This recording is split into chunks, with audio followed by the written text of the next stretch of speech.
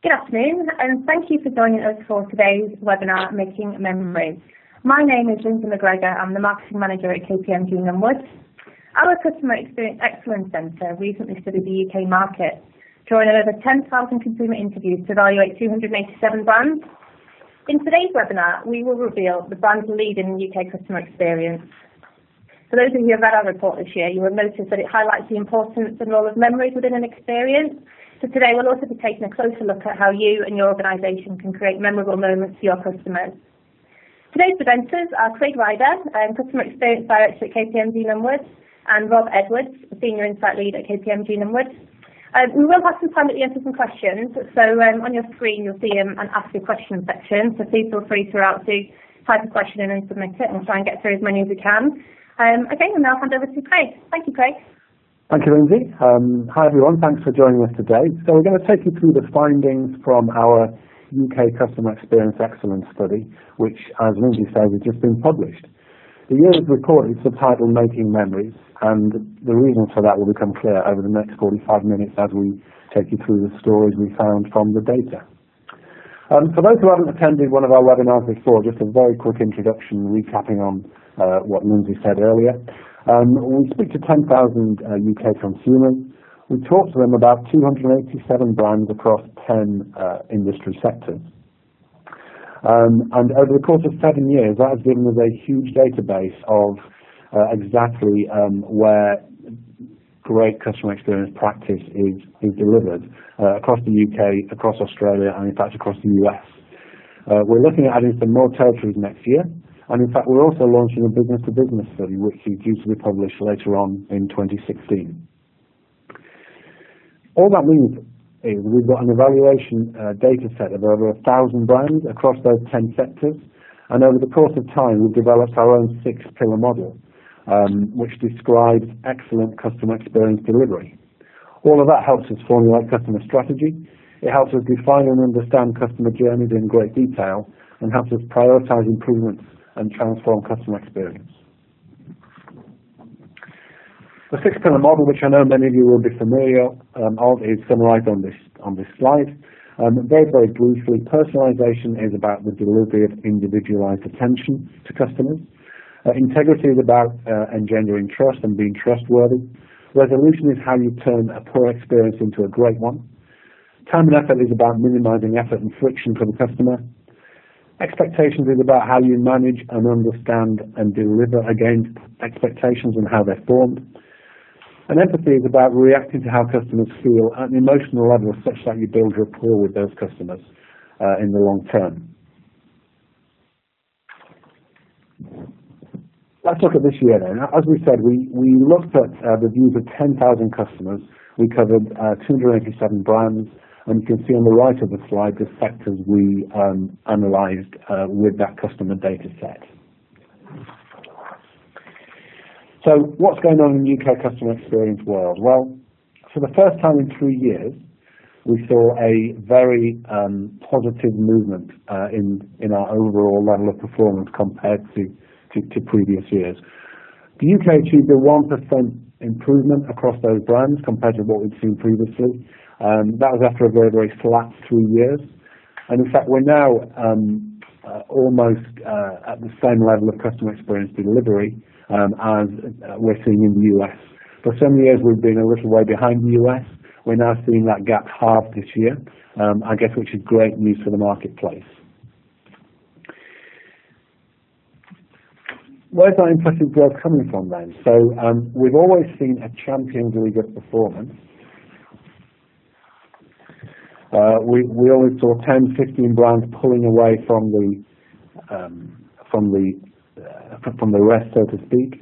What this chart shows now is the the distribution of performance for the UK this year, which is the green line, versus last year, which is the blue line. So we start on the right-hand side, which are the less well-performing brands, and you can see that it's in this bottom half of the table where the most progress has been made by those um, those brands. Look on the left-hand side of the table where the better performing brands are, and we can see relatively little movement. So we talk about that Champions League. Where the chart uh, kicks up on the left-hand side, you can see there's actually very, very little movement at all there. So the brands at the very top are finding it difficult to move forward, and the real progress appears to be being made lower down the league. Within this general partner performance, it's clear that um, there are some categories, some industries that are doing better than others. So this chart lists those 10 industries with the best performing um, sector up at the top and the less well performing sector down below. We can see that grocery retail leads the way, um, as they have done since we've been doing this work over the last six, seven years. Um, and they managed an improvement this year of 1% compared to where they came in last year. And actually, much of that improvement has been delivered by uh, some of the more premium brands, Ocado, M&S and Waitrose, who have built their reputation even from last year. This is countered to an extent by the discount sector, where um, they're, much in the news. They have been doing very, very well recently. We're just starting to see some evidence that those busier stores are starting to create some um, customer experience challenges, um, which uh, over time may well prove to be uh, an issue for those brands. I guess the real news, however, lies at the bottom of this chart. So if you look at um, the purple uh, bar and the um, orange bar, we can see two traditionally um, uh, uh, sectors who've had a difficult time delivering customer experience really starting their act together. So we can see a 3% increase um, from the telecom sector and a 4% increase from the utility sector. Both of those industries are similar in that it tends to be a long contract-based um, uh, customer experience. And we're now starting to see some of the more successful brands take a really new look at customer experience and start to understand the, the value in having a happy customer for a lifetime. We're starting to see some of those brands really break out of that lower quartile to do a great job for the customer. So this is this year's top 10, and we can see some very familiar brands in there, but there are some notable new entries. So First Direct regained the first spot, uh, with John Lewis and Lush uh, very, very close behind. Um, we've talked about those brands a lot in the past. They continue to be uh, the very, very best in their sectors, delivering some very innovative approaches to customer experience. And I think what's important to say is these brands are always improving. They're always making incremental improvements to what is an already a fantastic uh, experience delivery operation they have.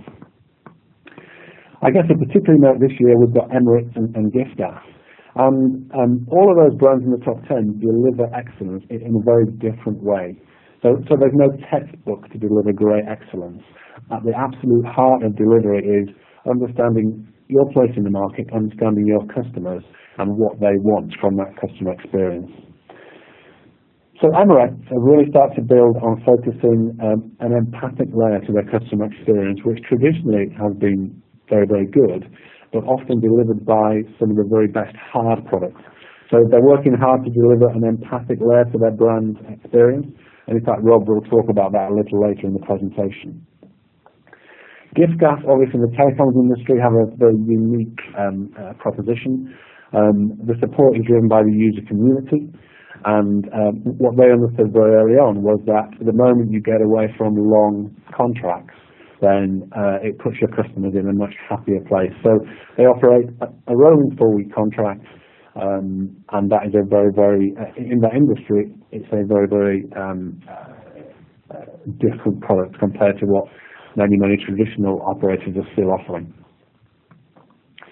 What's clear when we read customer feedback, so every one of these brands, we have a, large database of, what, I like to call customer narrative. So it's, why customers think a brand is good, bad, or indifferent, and what particular action, what particular moment was it that triggered um, uh, a brand to attract that kind of uh, score or, or, or, rating. What's very clear when we read those customer narratives is that um, delivering memorable experiences is at the heart of success. So whenever we look at the top 30 or 40 brands, memorable experiences are at the heart of people giving those brands great scores, great rankings. Um, and the art of understanding how we deliver memorable experience is increasingly at the heart of what uh, great customer experience management is.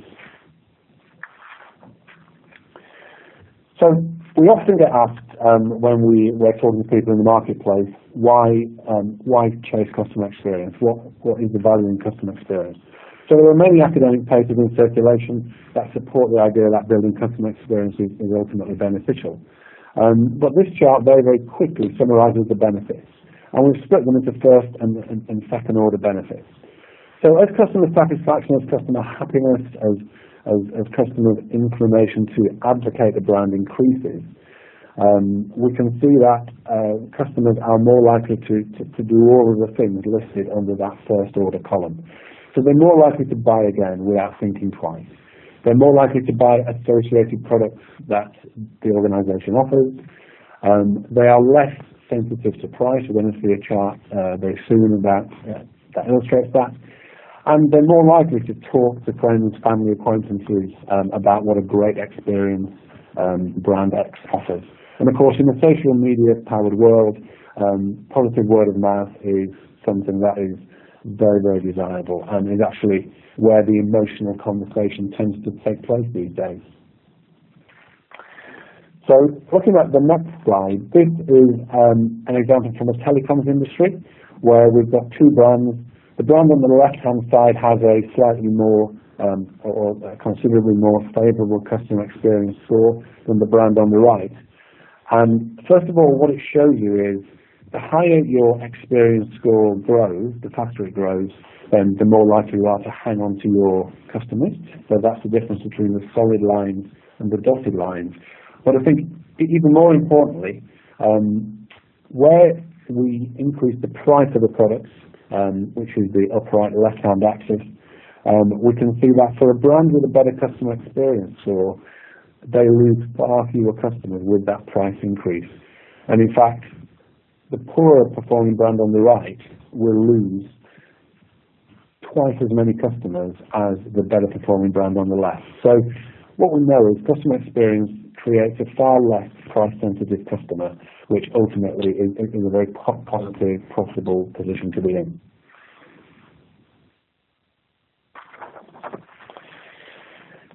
So, having spent a lot of time um, talking to clients, talking to uh, organizations in the marketplace around customer experience, we can see a few trends starting to emerge in how customer experience is, is, is delivered as a strategic component of their proposition.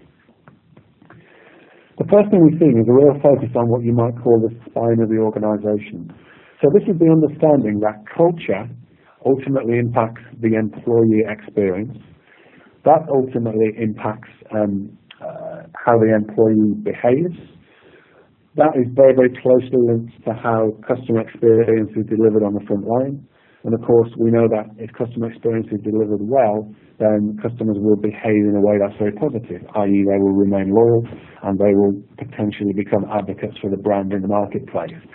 So we call that the spine of the organization and we're seeing businesses increasingly starting to trace customer experience not only forward into customer behaviors, but back into how what they do, how they treat their customers, how that ultimately affects how employees deliver experience. So that's a trend that we're starting to see um, uh, organizations follow.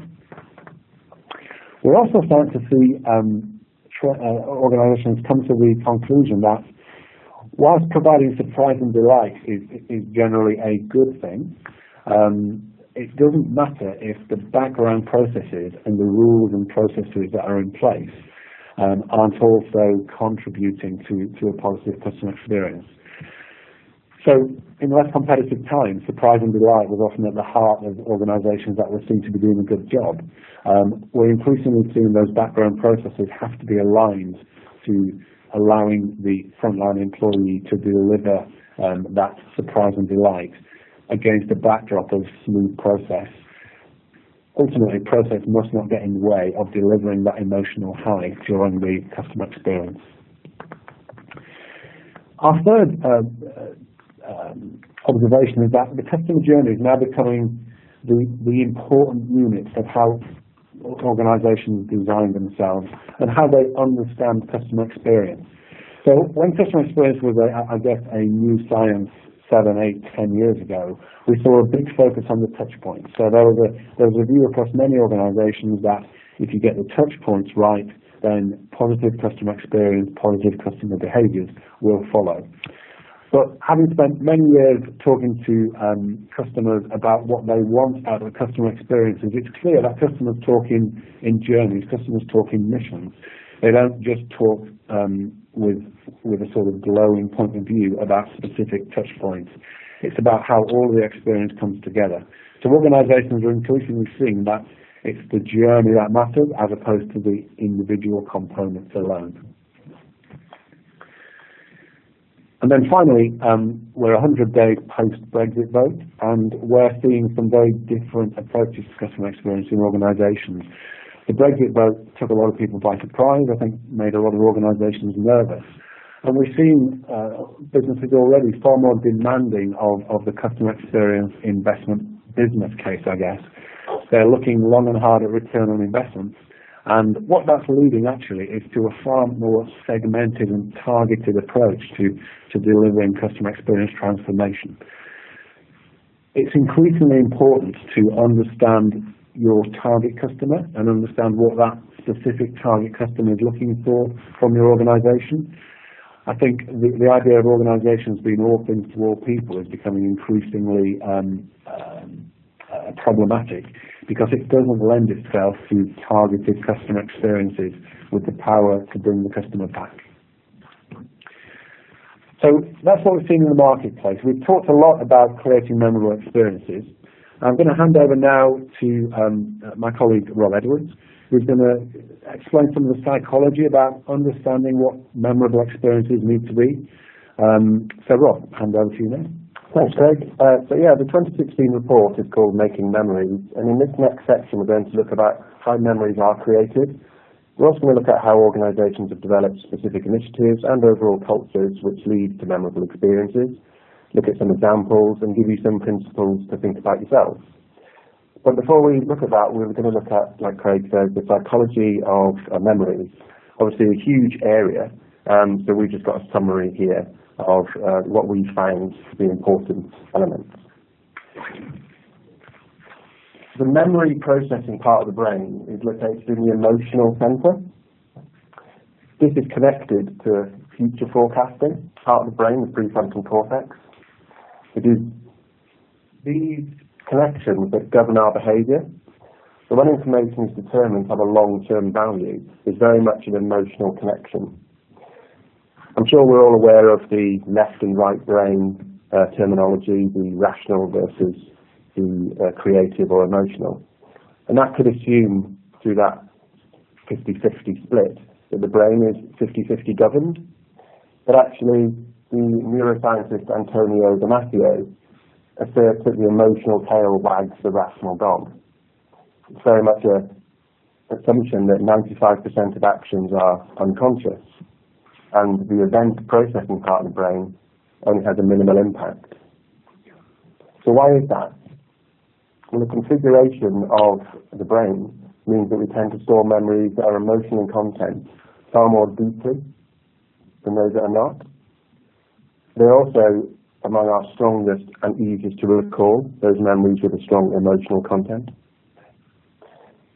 So a fundamental question about human memory is why some experiences are remembered whereas others are forgotten.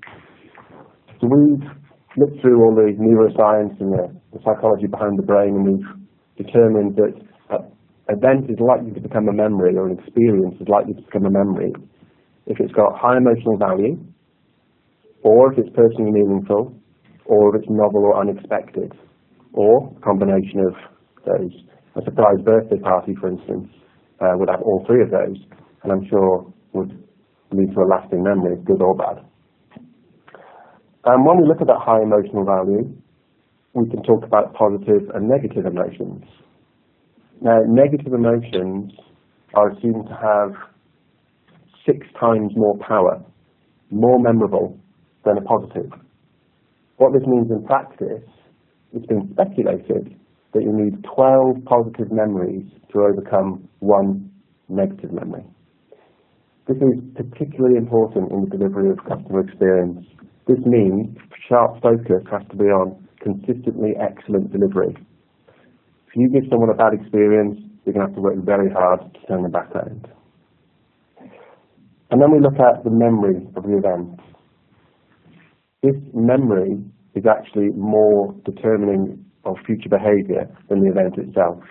Neuroscientist Daniel Kahneman asserts that when we talk about the future and what we imagine the future to be, what we're actually imagining is the memory of the event in the future. So determining, understanding, and creating these emotionally powerful memories are going to be extremely valuable for companies in the future. When we look at the actual uh, journey through an experience, and we think about then all that content that builds into our memory making capability, we look at three distinct stages called the serial position effect. So we've got the first impression, the emotional peak, and the last impression. Now the first impression is linked to that psychological law of primacy, where that initial uh, contact or experience primes our perception uh, for the following interactions. Some brands who do this particularly well are Santander with a red carpet welcome, British Airways have got a clear focus on greeting and the captain comes out and says hello to the passengers. Um, and TSB, and we'll talk about TSB in a second. Um, but these, these are people who have realised that a great first impression creates an environment where those future memories can be stored. If we look at the emotional peak, each interaction has got an emotional peak, and those emotions come in three broad areas. The customer is already emotional, it's, a, it's a, an exciting purchase or something like that. The customer can be made to feel emotional by our interactions um, through uh, interacting with the staff and making them feel special about a particular moment. Or the emotional peak comes from a negative place. There wasn't supposed to be any emotion, and something's happened during the journey which has created an emotion. Now, some Clearly, uh, brands who have made this work really well for them are Emirates, who we're going to talk about in a second, uh, Marriott, learning from the Ritz-Carlton uh, model, and um, Nationwide. Nationwide are providing the hamper for the new mortgage customers of their new home, for instance, which creates this kind of warmth and this emotional peak around that, that interaction. Um, so what we've got there is brands which are looking at both intangible and tangible uh, emotional peaks. So the intangible is about creating the correct emotion that the customer needs to feel at that time. And that could be understanding the urgency of a situation, or being sympathetic, or understanding, or being empathetic. It's about understanding exactly at what stage uh, they're at and reacting accordingly. So Ritz-Carlton, who I referenced earlier, they are absolute craftsmen at doing this. So they've charged all their employees with being what they call memory makers and everyone from uh, the room service staff through to the frontline reception staff um, through to the cleaners are being trained on customer interaction and how to talk and deal with customers. And in effect, that they've got a team of 40,000 people there creating uh, good memories. Then we look at something like tangible, so like the nationwide providing the hamper. Um, you've also got the now famous warm cookies given out by Doubletree Hilton, um, and you've got Emirates, who we're going to talk about in a second, using their uh, photographs to capture in-flight moments. So that's the emotional peak. Um, and then we get to the last impression. The last impression is about making the customer feel good and leaving them with a positive memory. Um, the small touches demonstrate empathy with the customer and leave them with that warm feeling towards the brand, ensuring their memory is positive. Um, it's, it's simple things like using the customer's name, summarizing what's been achieved today between between the brand and the customer, um, maybe meeting expectations as to what's going to happen next, a warm goodbye, all those sort of things. Um, and First Direct are someone who stands out as doing this, um, and I'll talk about those in a second. So if we look at uh, some brands who've done this well, take first position for a start. we look at TSB. When you walk into a TSB, as soon as you enter the branch, a staff member comes up to you straight away with a big smile on their face and a willingness to assist. What you've also got with TSB, though, um, is elements that have been going on in the background, if you like. And this is something that we found, and it's something that Craig referenced earlier with the spine of the organisation. When we talked to the distribution director at TSB, um, he referenced the fact that they've been doing a lot of work on their single distribution function behind the scenes. Um, the partners, their employees, sorry, are, are called partners. Um, they've revamped their, their variable pay mechanism. Um, and then you assign all that uh, that's going on in the background, if you like, with the warm welcome up front. And what you have is the two elements working uh, sympathetically with each other. So you've got a member of the branch staff who can do the warm welcome, and when it comes to processing a transaction, the systems all work to benefit. And that's why we've seen nearly 85 places up the chart this year. If we look at uh, the next position, which is that emotional peak position I talked about, we can reference Emirates. Now, Emirates um, have for a long time been uh, excellent deliveries of customer uh, customer excellence. A recent initiative has seen them do the uh, like a Polaroid capture of the in-flight. So they'll target certain people like families and maybe someone going on their first flight, um, and they'll really basically make a fuss of them. So they'll take a picture of them on, on the flight and they'll provide them with a photograph afterwards. So that is a physical capture of a memory. Um, I remember years ago, and I don't know if they still do it, but when my children went to get their first shoes from Clark's, um, they used to take a Polaroid picture of the first shoes and they put it in a little cardboard wallet which had first shoes on the front. And it is something we kept and it is something we look at. And when we look at that, we remember that day and we remember the excitement and the whole, the whole emotion around that. So that physical capturing of a, of a memory can be extremely powerful. If we then move on to look at that last position, or last impression, sorry. I referenced First Direct earlier. Again, we've talked about First Direct for many different reasons uh, in the past. To me, these are also an example of where you get the support functionality and the frontline functionality working together, you create a seamless customer experience, or you certainly allow the customer experience to be as seamless as possible. So what First Direct have been working on with the mother brand HSBC are the voice interaction systems, the voice ID prints, uh, or the biometric security, trying to get rid of layers of complexity which will allow transactions to be much more smooth. Align that then with well-trained staff, and we've referenced in the past the First Direct uh, approach to, to recruitment and the, the types of personalities they go for. And when we think about this last impression, they did something which is relatively easy to do by changing the script around so their interaction ends on a positive rather than on, a negative word. So rather than saying, have I done everything you need today? Uh, sorry, rather than saying, um, uh, is there anything else I can do for you, which a lot of people say, um, which leads to a no answer. Um, they said, have I done everything you need today, which leads to a yes answer.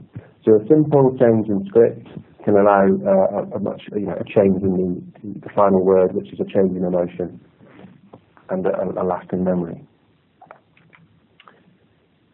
So finally, from me, when we look about how do we put all that into practice, what we need to be able to do is look at what the best people in the market are doing to make best use of memories and uh, use them to their advantage.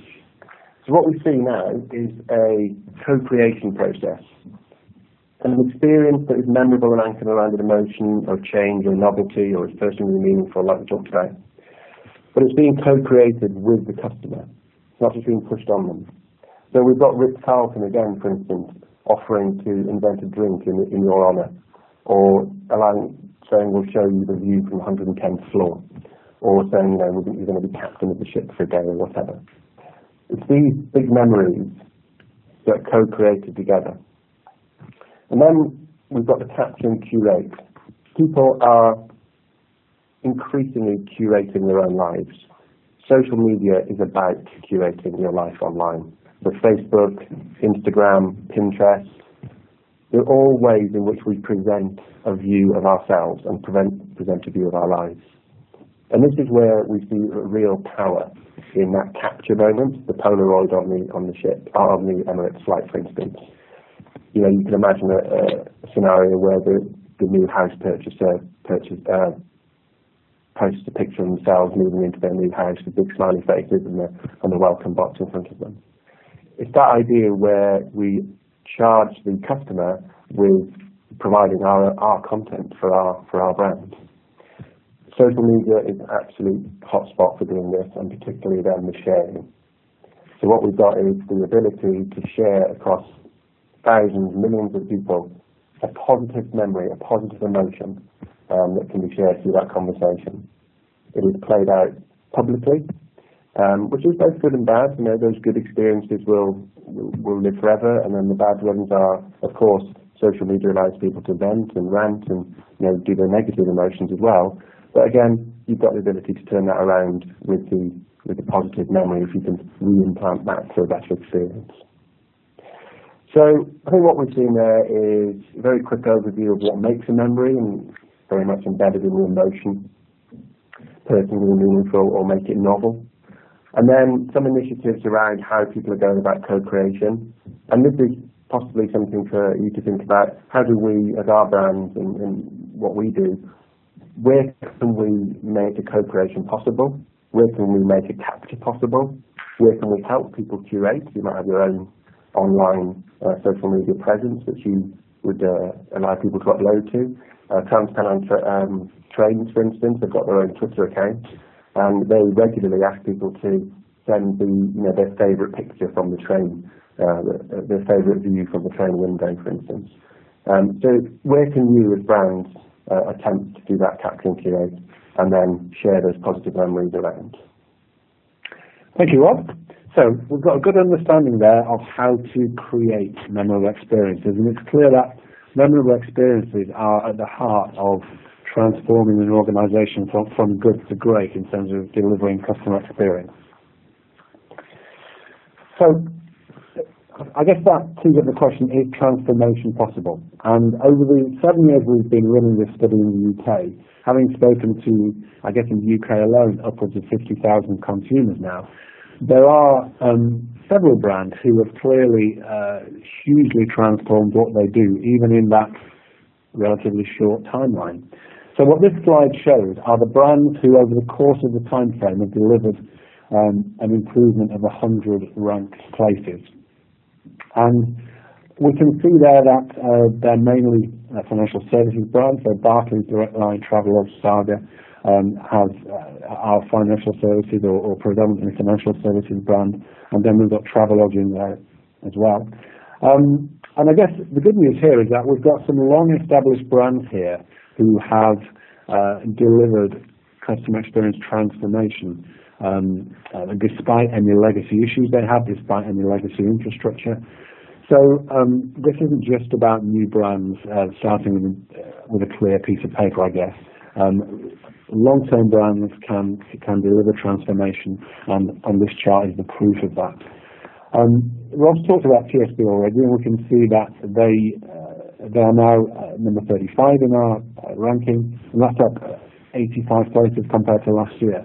And from Rob's case study, we can see that actually they've done a lot of things, but I think at the heart of what they've done is a joined up plan.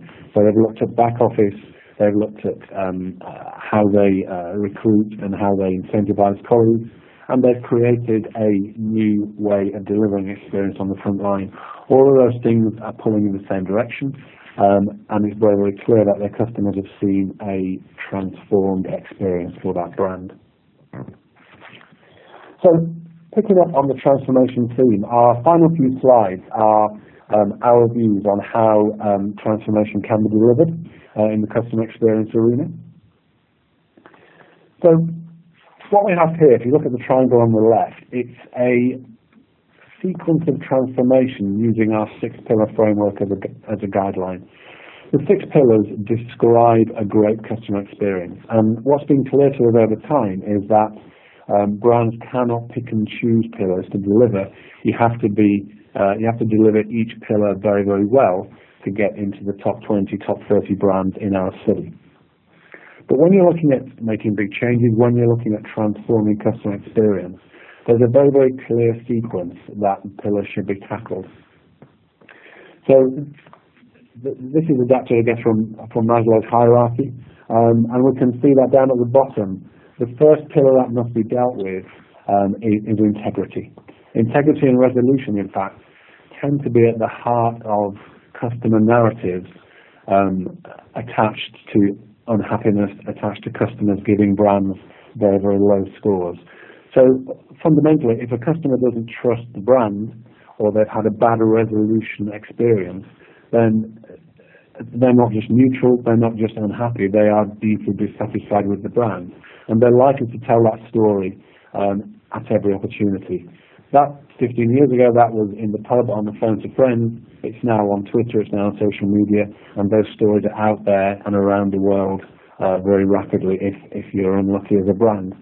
So understanding what integrity means to your customers in relation to your business is the first thing to, to, to look hard at when it comes to transforming uh, your organizational your organization's experience um, delivery.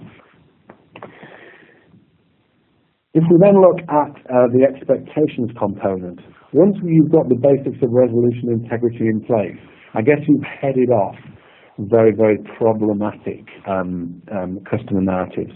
Um, and then uh, once you start to understand your customers' expectations of your brand, understand their expectations of, of the marketplace and competitors, that's the point at which you can then start to fuel transformation. Um, the individual components of that understanding start to give you the ability to build something new and impressive, um, having satisfied yourselves that those resolution and integrity issues are no longer um, a problem for the organisation.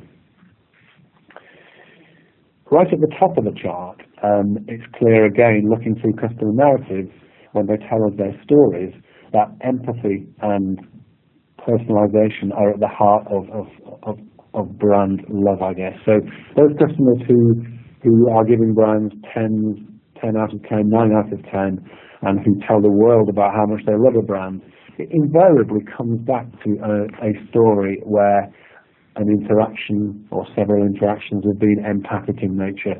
Those interactions have been very highly personalized, they're focused on the customer's specific needs, and where you can deliver that with an empathic interaction, that becomes very, very um, uh, powerful in turning um, customers into fans, which ultimately is what we're looking for.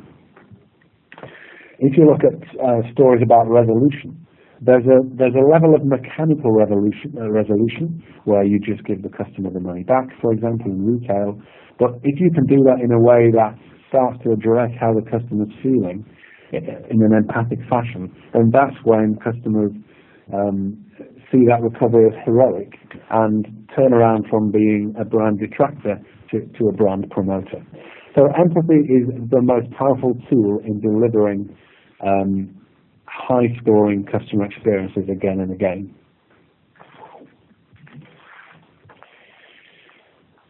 We're also seeing organizational structure playing an increasing role in how customer experience um, is, is, is, delivered in that organization. So what we see here are, it's a continuum of structures. Um, going back uh, many years, most organizations were silo driven, and we can see there that the, the customer components tended to come in at a relatively um, uh, uh, unpredictable level. So in, in, in silo one, the customer angle might have been represented um, uh, down at the bottom end of the um, hierarchy. In silo eight, uh, it came in at the top of the hierarchy, but there was no common view of the customer. The customer wasn't handled at any particular level of the organization. And in those siloed worlds, um, of course, um, the, the silo leaders delivered what was right for the silo and not necessarily right for the customers. In the past 10, 15 years, we're seeing more and more matrix organizations where, um, again, the organization is functionally structured, um, but the customer is represented at a relatively common level, which compared to the old siloed format was, was a very, very positive step forward. That meant, for example, a customer working group consisting of senior managers um, met on a regular basis. A great step forward. However, the, representatives of those working groups still have to go back to those um, individual functional heads and convince them that this action, which was really, which was clearly right for the customer, was also right for the organisation. So the matrix organisation, which is the most common organisation we still see out there, um, is undoubtedly a step forward, um, but there's still potentially the customer is not at the forefront of decision making. We're just starting to see uh, in the States and in some real cutting edge organizations the idea of a radial structure. What happens here is that the customer journey, the interests of the customer are absolutely at the heart of the organization. And functional specialists feed into those um, uh, customer journey redesigns, customer journey transformations. But ultimately, the final decision is made by the person who owns the customer journey as opposed to the head of the function deciding that it's right for for his day-to-day um, organisational needs. So it's a very bold move, and it does lend itself to organisations who are starting with a blank piece of paper. But we do see the radial organisation, the organisation structured around customer journeys or a customer agenda as being the future, and it's it's a bold move, but you know we do see uh, again that leading and driving another ramping up in how customer experience is delivered. And of course, the minute one organisation in your marketplace does that, then um, your competitive sets have to move quickly. Uh, otherwise, a big gap appears. So our final slide then is, um, okay, how do you deliver um, a great customer experience on the front line? And um, we, uh, Rob talked earlier about Ritz-Carlton and the fact that they call their employees memory makers. And um, we think that's a great title. We've, we've, we've stolen that title, I guess, for this slide, which gives us a basic set of rules um, that need to be in place to deliver customer experience perfection on the front line. And it starts with recruitment. So um, we see the need for organisations to recruit uh, frontline employees who are naturally empathic. Um, empathy wasn't often a recruitment decision driver. Um, uh, organisationally, we tend to be focused on recruiting for skill as opposed to recruiting for attitude and style. But actually, for most frontline employees, the skills can be rapidly taught. And actually, again, looking at customer narratives, it's that empathic interaction that creates fans as opposed to just customers. So the people we recruit need to be empathic. If they've got frontline roles, they need to be naturally sociable. They need to want to look up rather than look down. They need to be people who are happier dealing with real people rather than happier dealing with paperwork. It also helps if you can um, recruit sector enthusiasm. Um, brands like Richer Sounds and Lush, um, uh, their recruitment process is very much built around uh, getting people on board who know the products, who are enthusiastic about the products and want to impart their knowledge. So recruitment is less and less about existing skills and experience and more and more about ticking those three boxes. Once you've recruited um, uh, employees into the organisation, you need to get your, your structure, how their day-to-day plays out right. That's about providing tools. So Rob mentioned earlier the importance of the backroom process. And empathic interaction um, can be fantastic, but if your frontline employee is having to deal with tools that just don't lend themselves to the task, then that becomes um, that becomes a very mixed customer experience. Again, customers talk in journeys. If they've ordered a, click and collect product, the interaction can be great, but actually what they want to do is walk away with that product as quickly as possible. So if the tools in the background, if the processes in the background aren't in place, then it's very, very difficult to deliver a great customer journey. Secondly, the concept of, of what a good job looks like. Does your organization provide to its people a view of what it is they're trying to achieve? And it's surprising how many organizations this doesn't happening. Um, but providing that what a good job looks like um, uh, tool or, uh, or image or one-page description, um, again, is another step forward in telling your people what it is they actually have to achieve on the front line. And then finally, and linked to that first point, is the removal of, of, petty rules. Organizations that tend to be structured in silos can have a, a, a mass of rules that, when they were first put in place, made enormous sense to the people who put them in place. But over time, those rules overlap, they build up, and over time, those rules can lead to a highly inefficient customer experience. We then need to put in place a, a permission framework. So we've got our new recruits, we've given them a structure um, and, and, a hard product that allows them to deliver something that is desirable. Um, but they, they need the permission to make their own judgments. Um, they mustn't hide behind rules and processes. Um, and we also need to allow them to, to, to encourage what, what we would call heroic recovery. So where something goes wrong, the most successful organizations don't just mechanically put it right, but they, they, they deliver what we call a heroic recovery. And it has the power to turn a customer from somebody who just used the business transactionally into a real uh, organizational fan. In terms of how employees um, interact with them, with each other, as well as customers, we then need employees who seek out opportunities to deliver experience who seek out opportunities to role model the way forward for fellow employees and who are willing to share stories.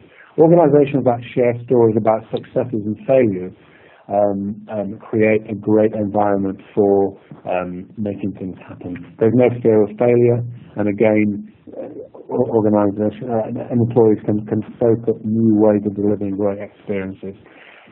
And then finally, we need to celebrate um, uh, success. We need to recognize uh, individuals in the business who've done a good job, and we need rewards to um, to reflect that as well. So employees who think they can progress by doing a good job um, are far more likely to deliver a great experience on the front line. So I hope what we've presented today has been useful. Um, and uh, we're just going to finish off before we take any questions with a, with a quote. It's a quote from Maya Angelou, um, who is a, an author I'm sure you're all aware of. And we think it fits very, very nicely with the themes that we've seen coming out of this year's uh, UK study. And our quote is this, people will forget what you said, people will forget what you did, but people will never forget how you made them feel. And that is very, very resonant, very, very relevant for what we see um, in the customer experience arena. So I think we've got time for some questions now. Yes, we do. Thanks, Craig and Rob. That was really interesting. I'm sure a lot of listeners are thinking about their most memorable moments and, and reliving the whole experience. Um, we've had lots of questions come in, so we will try and get through as many as we can. Um, the first question in, um, making memories is a nice thing to do, but isn't it more important to just get things right for the customer? So um, I'll start with that one, Rob. Yeah. Okay. Yeah. So uh, they're both important, and um, we're seeing getting things right for the customer. Um, you know, will get you into the top half of the rankings. Making memories will get you some fans. Um, uh, memories will often um, come out of you just getting things right for the customer. So the memorable piece is often the, the layer on top that takes you from good to great. Um, so from my point of view, it's important to get things right for the customer in the background. A lot of that is around process design, um, but um, creating a memorable layer on top starts to get customers who will score you 9, 10 out of 10, as opposed to 7 or 8 out of 10. Yeah, I think I'd add to that by saying, re-referencing the, the pyramid we showed of the, the pillar sequence. So you get your, what we might call hygiene factors correct first. You build up trust. You ensure you've got good resolution in place. People can do what they want to do and receive the service they expect. And then the surprise and delight, which creates the positive memory, is, is on top. I think we teed it up at the beginning saying people who rush to do the surprise and delight and forget about that concrete layer are setting themselves up for a fall. So you need to you need to build that pyramid basically. Yeah, and I guess to stay with the sequence, um, another question is coming asking if the transformation sequence is the same for all sectors. So yeah, certainly at the top and the bottom, um, resolution integrity are always the first things to get right. That's the that's the platform on which you can build a transformed organisation. And similarly, for all the sectors we've looked at, and you know you've got ten sectors there, Empathy and personalization are absolutely at the heart of customer stories around why they love a brand. Um, what each of those means for your customers will be very different, mm. and it's important you understand for your organisation what integrity means. You know, for a, for a discount retailer, integrity is about having your products in stock at the price you advertise. Mm. For a uh, premium fashion retailer, retailer, integrity is about supporting the right charities, ensuring your uh, you've got a very green approach to how you trade. So, so integrity, uh, resolution, very, very different. All of those pillars are very, very different for each organisation, and you have to understand that from a customer view as opposed to from an internal view to address those things. Yeah, I think um, as well as that, I think they're also different depending on the type of business. So I think there's a question on there, someone's asked about um, digital only versus an omni-channel Yeah. organisation. Um, and that's even more then uh, important to understand how those pillars and how that transformation sequence is applicable.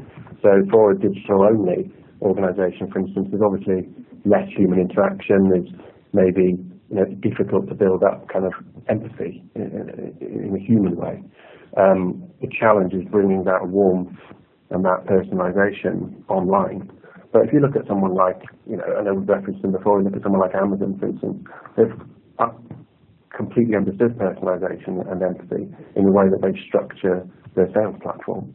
So it's possible, but like you said, it's about, you know, for a digital only organisation, for instance, I would say resolution, you know, is, is different for um, a, a branch organisation or a retail organisation. Um, so the sequence is probably the same, but like Craig says, the type of organisation you are um, probably determines how each of those are delivered differently. And I think in that predominantly digital world, it's about understanding where you do have a chance to deliver empathy. Mm. So Amazon, you know, Amazon has a call center that you occasionally have to call, Mm. and you need to cherish that opportunity to deliver an empathic interaction Mm. where you have it. You don't want too many of them, so you have to structure your information on online in a way that um, minimises that interaction. But where that interaction has to happen, that's your chance to deliver empathy. Okay, thank you. Um, next question, um, and this has come through um, a few different um, phrases. Um, I've noticed a lot of niche brands in your top 100. Don't you think that they have an advantage um, over larger organisations?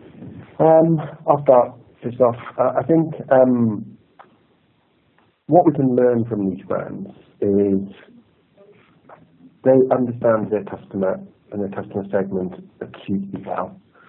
Now, yes, of course, you know, you could say they've got an advantage in having a smaller customer base, possibly with a, a more defined parameters around them. But really the principle of what they've done is they've understood that customer base and they've understood those parameters and they've organised themselves to deliver um, specifically what that customer segment wants. So if you look at someone like Saga, who's obviously in our report and has seen a you know meteoric rise since 2013, up over 200 places, I I think. Um, they've organised themselves around three main areas, which is the spine of the organisation we talked about before. They completely understand their customer through evolving dynamic customer insight and data and good measurement practice in place. They've empowered their employees to fully understand their segment and their market. And they've designed products which are specific for that market based on that feedback. So when you put those three things together, you get a hugely empathetic experience.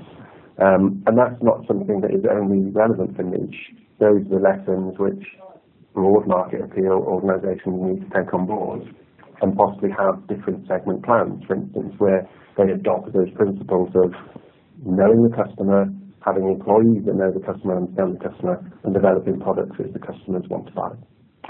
So yeah, from my point of view, those niche brands um, became successful because they spotted an experience gap in the market. So, so um, all the brands in our in our survey started off as a small organisation and um, uh, found a gap in the market. And uh, some of those niche brands are now big brands. You know, Richer Sounds have an awful lot of branches. They started off in a in a tiny shop on London Bridge Walk, and they've, now got um, many many stores delivering an experience that is still hugely unique in the marketplace. Um, they understood their customer in minute detail what they were looking for, and they structured an organisation around delivering that experience, and it's been incredibly successful. So niche brands are here to stay, and whilst it might be more straightforward for those guys to deliver a very targeted customer experience, if we are operating a mainstream brand that's trying to be all things to all people, then um, those news brands will, will be around, and we need to find a way of delivering something different. Okay. Um, I think we've got time for another question. Um, somebody's asked, if memory making is so important, how do we know what kind of memories to make? Good question. Yeah, that's a good question. Um, I think similar to the uh, the pillar uh, transformation sequence, it's going to be obviously different for each organisation. And like I said before, when I looked at the um, co-create, capture, curate, and share model, you know, each brand and each organisation has to look to themselves and say, well, what can we do in these spaces? Uh, I think I said, what opportunities can we create to capture memories and curate and, and share those memories? I think at the heart of it, and it kind of builds on from what we were saying about um, the niche brands, at the heart of it is truly understanding your customers and, and kind of understanding what makes those um, hugely empathetic and warm responses that we get to our verbatim when we when we do our tracking, for instance, for our for our clients.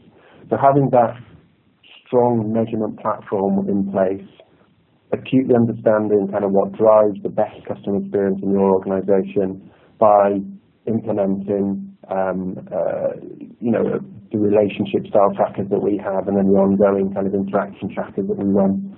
By understanding what happens at each of those stages, um, you can then determine, okay, what it is about us when do we see those really excellent services coming through our, our results and how do we capture those and give the customer the opportunity to curate and, and share those those memories.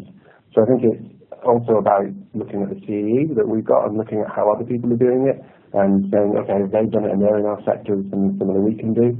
Um, but yeah, it's good tracking model in place, understanding your customers, looking for good case study examples where other people have done it, um, and then looking to yourself to, to say, okay, where where can we create this sort of memory making capability? And I think uh, I pick up there, Rob, on the, the importance of understanding the customer from the outside in. Mm. So um, uh, letting the customer talk, letting the customer describe what they want to achieve, as opposed to you know testing this piece of technology or that piece of technology. It's about understanding the customer journey. It's about understanding how they describe it.